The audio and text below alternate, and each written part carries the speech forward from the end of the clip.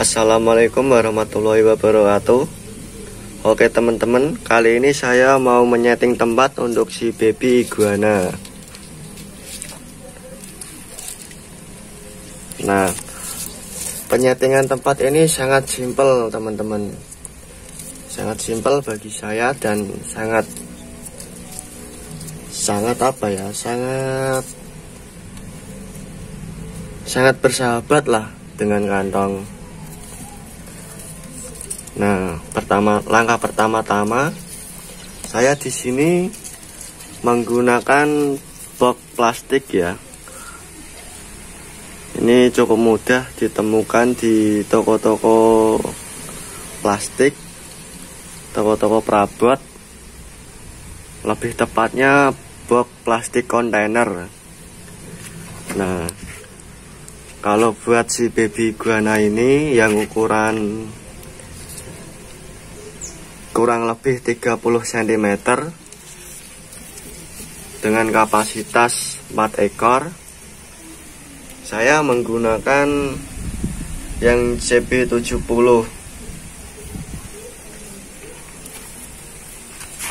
ini boxnya lumayan lah buat kapasitas 4 ekor. Sebetulnya ya ini bisa lebih dari 4 lah. Kira-kira berapa ya 6 sampai 7 ini masih cukup lah. 10 10 juga kalau bagi saya masih cukup. Dan box ini nggak bisa dipakai seterusnya ya karena mengetahui bahwa si iguana ini bisa tumbuh sampai besar sampai satu meter ke atas.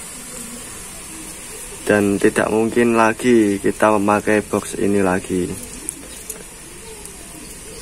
Memang ini dikhususkan untuk baby-baby iguana box kontainernya ini ya teman-teman. Nah settingan saya cukup simpel teman-teman. Yang pertama ini saya pakai koran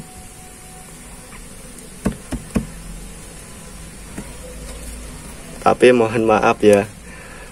Koran kan seharusnya kan buat kabar berita buat baca-baca kabar berita-berita. Eh malah saya salah gunakan.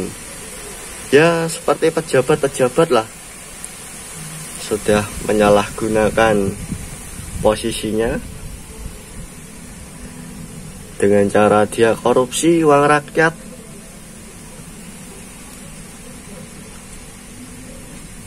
dan menyalahgunakan aset-aset negara. Sama seperti dengan koran ini. Koran yang seharusnya buat baca-baca buat kabar berita eh malah disalahgunakan dengan orang-orang ya kayak saya ini telah menyalahgunakan kadang juga ada untuk wadah gorengan juga ya teman-teman Oke kita lanjut ya. Nah kenapa saya pakai alas koran ini? Ini agar kotoran baby iguana ini Agar mudah meresap teman-teman. Karena kotorannya ya juga tidak terlalu Apa ya Tidak terlalu becek Dan tidak terlalu padat. Padat-padat ada cairannya dikit lah Nah, dia kalau terkena koran ini nanti dia akan cepat meresap cairannya dan mudah kering.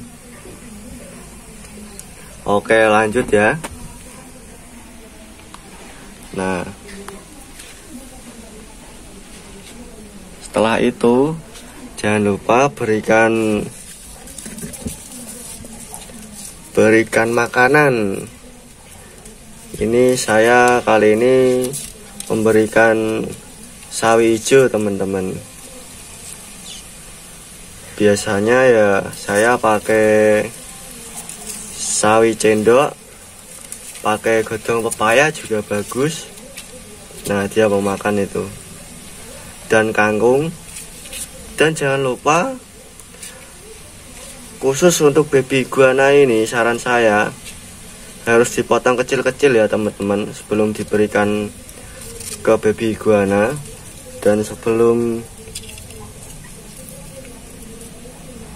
apa ya sebelum dikasihkan sebelum dipotong-potong saya anjurkan si sayuran ini dicuci bersih terlebih dahulu ya.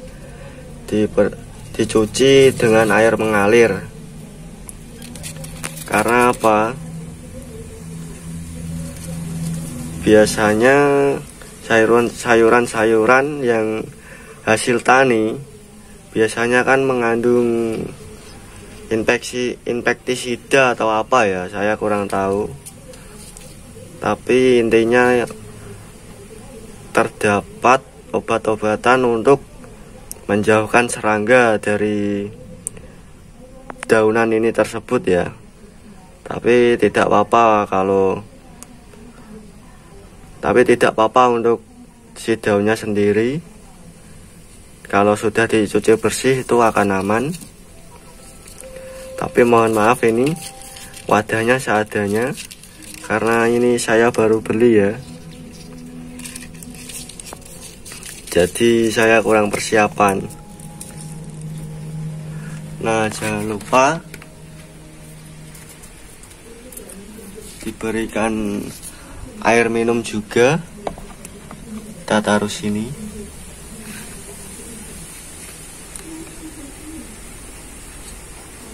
Oke setelah air minum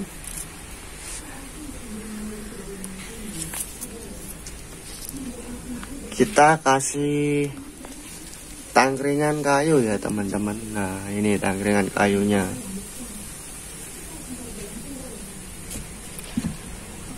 biar dia bisa manjat-manjat. Tapi kalau bisa ininya jangan tinggi-tinggi ya. Kalau kalian tidak punya tutupnya ini nanti bisa dipastikan kabur kalau tinggi-tinggi. Tapi nanti saya saya di sini akan menutup si box ini. Jadinya aman kalau terlalu tinggi. Oke, tangkringan ini bukan tanpa sebab ya saya kasih di sini. Tangkringan ini.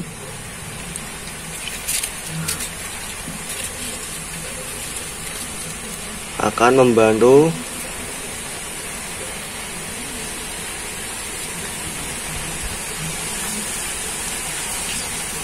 nah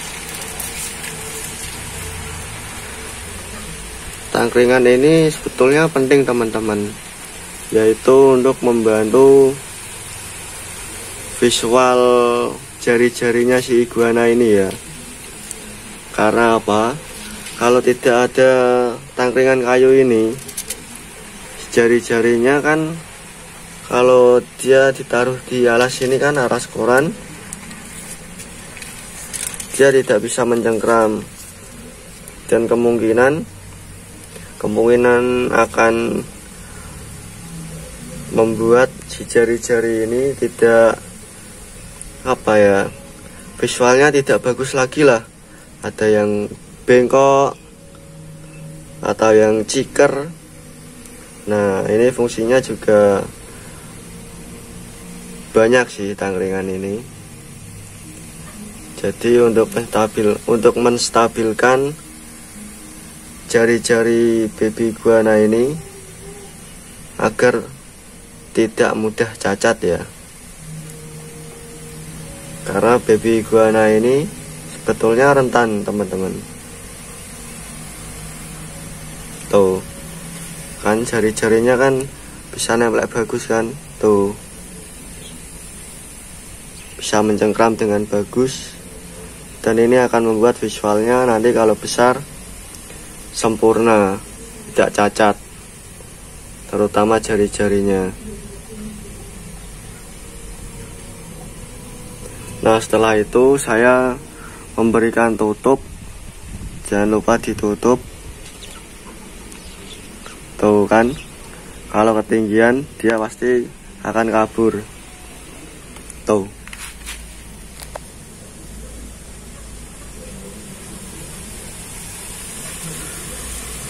Oke teman-teman sekian.